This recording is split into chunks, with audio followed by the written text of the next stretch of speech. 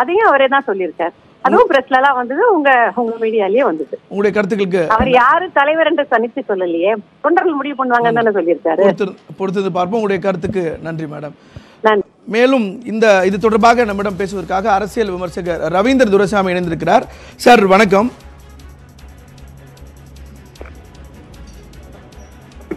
வணக்கம் வணக்கம் சார். இன்னைக்கு எடப்பாடி பழனிசாமி அவர்கள் செய்தியாளர் சந்திப்பில் ஒரு மிக முக்கியமான ஒரு கருத்தை சொல்லியிருக்கார். அதிமுக தலைமையிலான மெகா கூட்டணிங்கிறது தேர்தல் நேரத்தில் எந்தெந்த கட்சிகள் இடம்பெறும் அப்படிங்கிற அப்படிங்கிறத சொல்லுவோம் அப்படின்னு சொன்ன அவர் நிச்சயமாக அதில் அம்மா மக்கள் முன்னேற்ற கழகத்திற்கு ஒரு சதவீதம் கூட அந்த கூட்டணியில் வாய்ப்பே இல்லை அப்படிங்கிறத திட்டவட்டமாக சொல்லியிருக்கிறார். இதை நீங்கள் எப்படி பார்க்குறீங்க?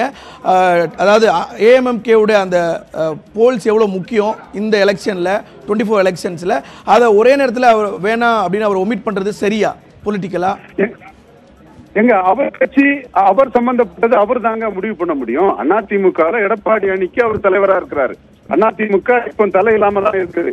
ஏன்னா தலை ரெண்டு தலை இருந்ததுன்னா ரெண்டு கையெழுத்துல ரெட்டையில கண்டக்ட் பண்ண முடிஞ்சிருக்கும் அல்லது ஒரு தலையா ஒருத்தர் வந்தாலும் கூட அவர் கையெழுத்து போட்டு ஜெயலலிதா மாதிரி எம்ஜிஆர் மாதிரி ரெட்டையில கிடைச்சிருக்கும். இப்ப ரெட்டையில ஊரக உள்ளாட்சி இடைத்தேர்தல கண்டக்ட் பண்ண முடியலன்னா அதிமுக தலை இல்லாம தான் இருக்குது. பட் அவர் அவர் தலைமையிலான அணி கூட இது அவருக்கு ஸ்ட்ராட்டஜி எதுவோ அவருக்கு நன்மை எதுவோ அதை சொல்றாரு. அதை அதைத்தான் அவர் சொல்ல முடியும். அவர் அவர் தலைமைக்கான அரசியலை தானே பண்ண முடியும். அவர் வந்து தினகரன் வந்து அரசியல் அரங்கத்துல சசிகலாவின் தவறால அஹ், ரெண்டாயிரத்தி இருபத்தி ஒண்ணுல தவறான விகிதத்தால தினகரன் கீழே போனாரு.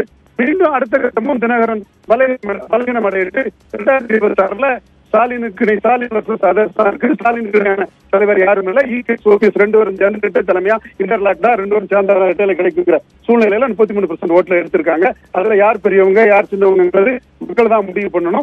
பன்னீர்செல்வம் வந்து மக்களுக்கு சிம்பதி இருக்கு. நான் மேல வந்துருவோம்னு நினைக்கிறாரு. எடப்பாடி வந்து தனக்கு அறுபத்தி ரெண்டு எம்எல்ஏ இருக்கு. தொண்ணூறு சதவீத கட்சி இருக்குது. ஏழு புள்ளி அஞ்சு கொடுத்திருக்கேன். பத்து புள்ளி அஞ்சு கொடுத்திருக்கிறேன். காவிரியை பாதுகாக்கப்பட்ட எட்டாம் மண்டலமா அறிவிச்சிருக்கேன். நான் முன்னாடி வந்துருவோம்னு நினைக்கிறாரு. அப்படி நினைக்கிற ரெண்டு பேருக்கு இடையிலுமே ஸ்டாலினுக்கு போட்டியா ரெண்டாயிரத்தி இருபத்தி ஆறுல யார் வர்றதுங்கிறதான் போட்டி. அதுல தினகரனை வந்து எடப்பாடி வந்து ஏற்றுக்கொள்ள தயாரா இல்ல. அது அவருக்கு அவர் அணி அது அவரோட முடிவு. அப்படிதான் அவர் இருப்பாருங்கிறத நான் ஏற்கனவே சொல்லியிருக்கிறேன். தினகரன் வந்து ரெண்டாயிரத்தி பத்தொன்பதுல சரியான விகிதம் எடுத்து அருந்ததியர்கள் மாநாடு கதிர்காம வச்சு வேட்டுக்கொண்டர் மாநாடு ராஜ்கொண்டர் வச்சு கொங்கு மண்டலத்தில் எடப்பாடி தோற்கடிச்சு காட்டினாப்ல சசிகலா அம்மையார் வந்து ரெட்டையில புனிதமானது அதை எதிர்க்க கூடாதுன்னு சொல்லி தினகரனையும் புல் டவுன் பண்ணி பலகீனப்படுத்தினாப்ல பலகீனப்படுத்தப்பட்ட தினகரன் மீண்டும் வந்து அந்த மூணு சதவீத வாக்குக்கு சீட்டு கிடைக்கிறத விட அவர் மேலும் பலகீனம் அடைகிறது. ரெண்டாயிரத்தி இருபத்தி ஆறுக்கு நமக்கு லாபம் நினைப்பாரு. அதைத்தான் ஒரு புரோட பொசிஷனா எடப்பாடி பழனிசாமி நினைக்க முடியும். எடப்பாடி பழனிசாமி மோடியை டிச் பண்ணிடுவாருங்கிற இடத்துல நான் எடப்பாடிக்கு எதிராக எல்லாம் விஷயங்கள் பண்ணிட்டு தான் இருக்கிறேன். அந்த ஓப்பனாட்டே சொல்றேன். வெளிப்படையா நான் சொல்றேன். பட் எடப்பாடி பழனிசாமி அவருக்கு எது நன்மையோ அந்த அரசியல தான் பண்றாரு. அதுல தினகரனுக்கு வந்து பாராளுமன்றத்தில் அவங்க கொடுக்காம இருக்கிறது.